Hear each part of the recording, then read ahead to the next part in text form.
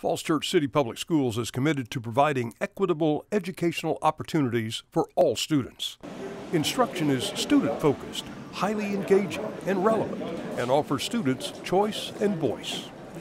In May 2020, just a month and a half after COVID forced learning to become all virtual, FCCPS assembled a learning recovery planning team.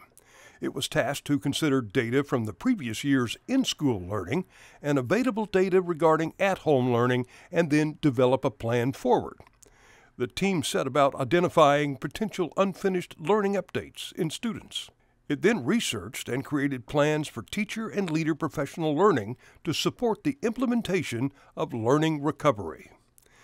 To ensure we meet the needs of all students, especially those disproportionately impacted by school closures or interrupted learning, the plan centered around these six critical areas. Equitable practices, the social emotional needs of students, curriculum, instruction, assessment, focusing more on deeper learning than rote memorization, and sustained professional development this is the key to implementing the best instructional practices embedded in the Learning Recovery Plan. Equity remains at the center of the FCCPS Learning Recovery Plan, ensuring students have equitable access and opportunities by providing differentiated access points for those who need it for success. When we think about providing access for students and being equitable, we're really differentiating the work that students have and their access points to their learning in content classes and in extracurriculars. Understanding individual student needs is crucial to developing and implementing appropriate learning experiences. And allows us to use the frame to make sure that all students are getting exactly what they need to be successful and have the best uh, growth potential. Our schools continue to be intentional, proactive, and committed to ensuring that our students' social, emotional learning, and mental health needs are addressed comprehensively.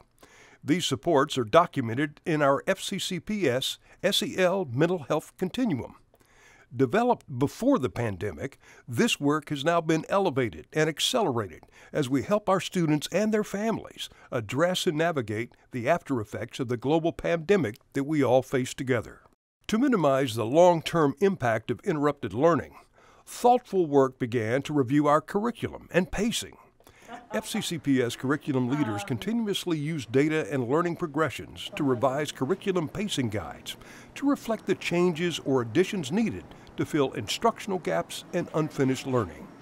As an IB school division, all instruction is grounded in core principles of the learner profiles embedded in daily instruction across all of our schools.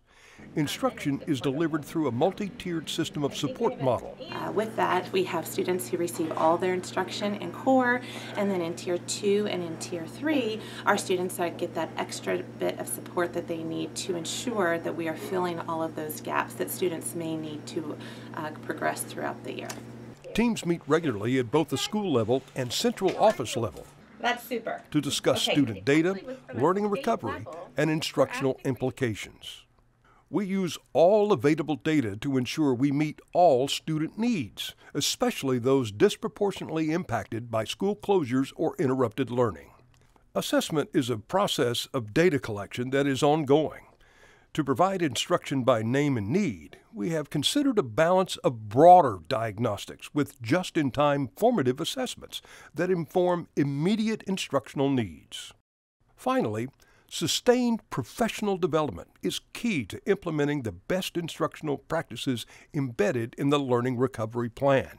Our professional learning occurs uh, oftentimes embedded during meetings uh, throughout the week of school. We've also had professional development on teacher work days uh, before the school year started. Teachers have the opportunity to select modules and sessions that support their areas of interest, content knowledge, and professional growth. And will continue to be built out as the Learning Recovery Plan is a, a living uh, document that will, will continue to build out throughout the upcoming years. Through the Falls Church City Public Schools Learning Recovery Plan, our commitment provides the necessary opportunities for intervention and support structures for all students who were negatively impacted by COVID 19.